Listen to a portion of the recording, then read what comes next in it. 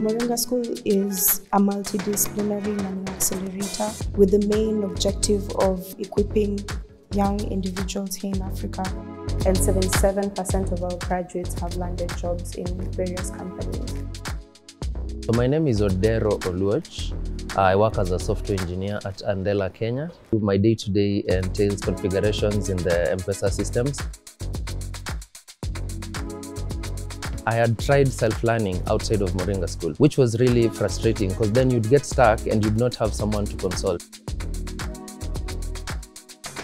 The program gives you a well-curated set of content. You know where to start, you know how to advance, you see how to test whether you're learning or you're not, you see how to self-re-evaluate alongside your fellow students.